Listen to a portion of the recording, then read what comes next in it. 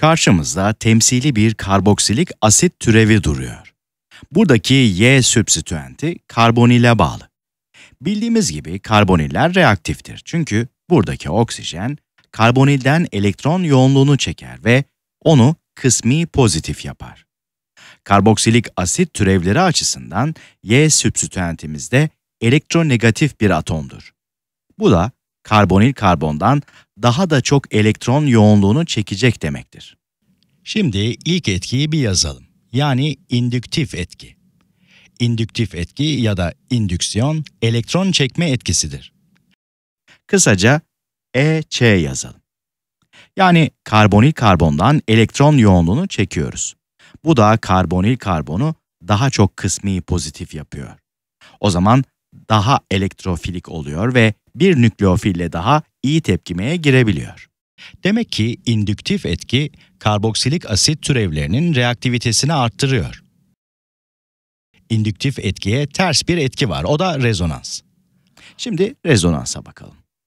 Ortaklanmamış elektron çiftleri olan Y sübstitüentimiz karbonil karbona daha çok elektron yoğunluğu verebilir.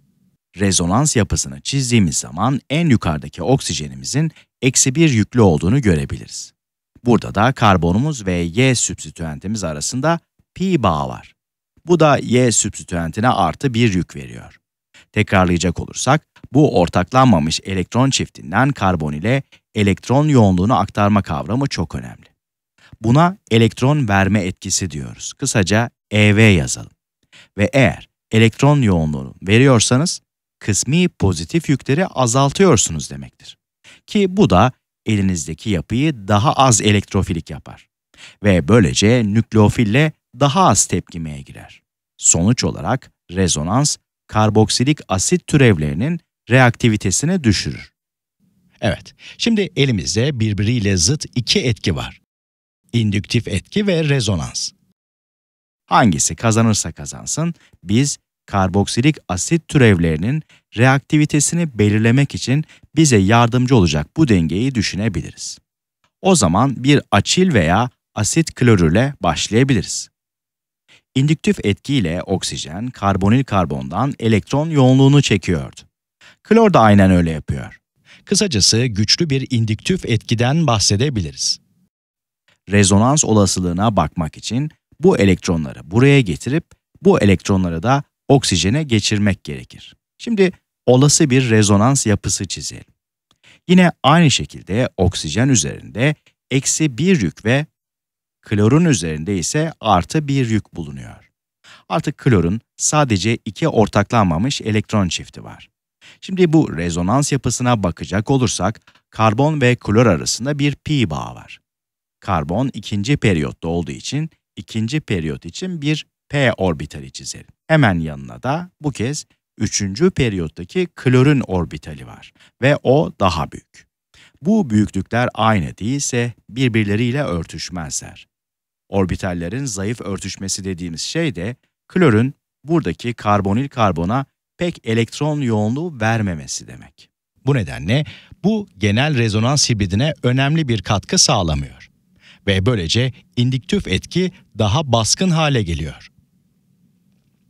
Bunu hemen yazalım. İndüktif etki baskın olur. İndüktif baskın dersek anlarız sanırım. Tabii şimdi indüktif etki baskın olunca açil veya asit klorürün son derece reaktif olmasını bekliyoruz. Ve gerçekten de öyle oluyor. Oda sıcaklığında çok hızlı bir şekilde suyla tepkimeye giriyor. Evet, şimdi bir diğer karboksilik asit türevi olan asit anhidrite bakalım. Aynı şekilde ilk önce indüktif etkiye bakıyoruz. Buradaki oksijen şuradaki karbondan elektron yoğunluğu çekiyor. Bu oksijen de aynı şekilde. Bunun Y sübstitüenti olduğunu düşünürsek, katkı sağlayabilen bir başka oksijenimizin olduğunu görebiliriz. Böylece yine elimizde güçlü bir indüktif etki bulunuyor. Rezonans etkisine baktığımız zaman bu ortaklanmamış elektron çiftlerini oksijenden buraya getirebilir, bu elektronlar da buraya geçer. Karbon ve oksijen için orbital örtüşmesine baktığımız zaman bir öncekinden daha iyi bir örtüşme durumunun meydana geldiğini görüyoruz. Çünkü karbon ve oksijen periyodik tabloda aynı periyotta yer alıyor. İşte bunlar oksijen ve karbonumuz. Aynı periyotta yer aldıklarından yaklaşık olarak aynı büyüklükte p orbitalleri var ve daha iyi bir örtüşme gözlemleniyor. Böylece bir önceki örneğimize göre daha çok elektron verme etkisi var. Oksijenin ortaklanmamış elektron çiftleri, karbonil karbon etrafındaki elektron yoğunluğunu arttırıyor. Böylece reaktiviteyi de azaltmış oluyor. Ancak indüktif etki halen rezonans üzerindeki baskınlığını koruyor. Bunu düşünmenin bir yolu da buna zıt bir rezonans yapısının olduğudur. Bu yüzden bu ortaklanmamış elektron çiftleri buraya hareket edebilir ve buradaki elektronlar oksijene geçer. Yani elektron yoğunluğunun hepsi soldaki karbonil karbona geçmiyor. Birazı sağdaki karbona geçiyor. Rezonans indüktif etki kadar büyük etki yaratmıyor. Yani burada halen indüktif etki baskın bir durumda. Buraya bir yazalım. İndüktif etki rezonanstan daha güçlü. O zaman bir asit anhidritin oldukça reaktif olmasını bekliyoruz. Çünkü indüktif etki reaktiviteyi arttırıyordu ve biz de zaten öyle olduğunu gözlemledik. Asit anhidritler suda reaktiftir ve asetik anhidrit gibi bir madde oda sıcaklığında suyla tepkimeye girer. Yine burada indüktif etkinin daha güçlü olan etki olduğunu görüyoruz. Evet, sıradaki karboksilik asit türevimiz ise bir ester. Her zamanki gibi önce indüktif etkiye bakıyoruz. Bu oksijen elektron yoğunluğunun bir kısmını çekiyor. Buradaki de aynı şekilde. Rezonansa da bakalım. Bu ortaklanmamış elektron çifti buraya gelir ve diğerleri de oksijene geçer. Bu kez zıt bir rezonans etkisi görmüyoruz. Bu nedenle rezonans etkisi önceki örneklere kıyasla daha önemli. Böylelikle burada indüktif etki ve rezonans arasında daha yakın bir denge ortaya çıkıyor. Ancak indüktif etki yine kazanıyor. Kısacası indüktif etki daha güçlü. Ama önceki örneklere göre rezonansa daha yakın bir değerde. Buraya indüktif etki daha güçlü yazalım. Evet, son olarak bahsedeceğimiz karboksilik asit türevi olan amite geçelim. Önceden gördüğümüz gibi oksijen buradaki karbondan biraz elektron yoğunluğu çekiyor. Azot karbona kıyasla biraz daha elektronegatif yani bu olasılığı da düşünebiliriz. Rezonans etkisini ele alırsak bu ortaklanmamış elektron çiftleri buraya gelir, bunlar da oksijene gider. Ve şimdi de amidimiz için bir rezonans yapısı çizelim. En yukarıdaki oksijenimiz eksi 1 yüklü olur.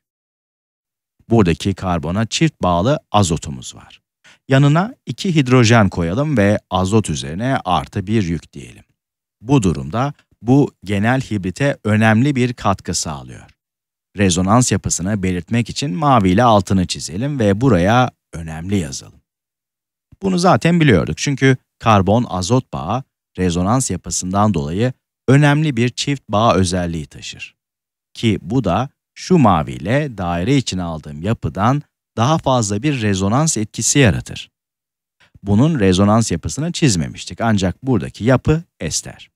Şimdi bu anlattığım durumun sebebine gelelim. Azot, oksijen kadar elektronegatif değil ve oksijene kıyasla ortaklanmamış elektron çiftlerini başkasına vermeye daha istekli.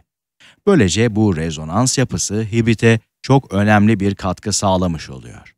Aslında az önceki kavramı şöyle de açıklayabiliriz. En az elektronegatif olan artı bir yük oluşturması en muhtemel olandır. Yani karbonil karbona bayağı bir elektron yoğunluğu vermiş oluyoruz ve böylece reaktivite azalıyor. Burada genel hibrite önemli bir katkı sağladığından dolayı rezonans etkisinin indüktif etkiden daha önemli olduğu ortaya çıkıyor. O zaman buraya rezonans baskın olur diyelim.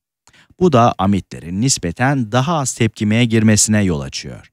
Ki gerçekten bunu gözlemliyoruz. Evet, 4 karboksilik asit türevi için indüktif etkiden ve rezonans etkisinden bahsettik. Ve bunların reaktivite ile olan ilişkisini gördük. Bu yönde ilerledikçe reaktivitenin daha çok olduğunu gördük. Buna göre açil veya asit klorür en çok reaktif olanlardır. Çünkü burada indüktif etki baskındır. Buna kıyasla amitler en az reaktif olanlardır çünkü Burada da rezonans baskındır. Özellikle biyolojiyle ilgileniyorsanız reaktivitenin bu eğilimini anlamanız çok önemli.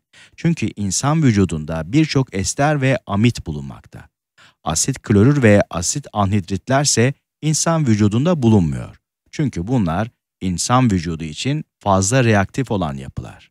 Ama bunların biyoloji ve tıpta uygulamaları mevcut.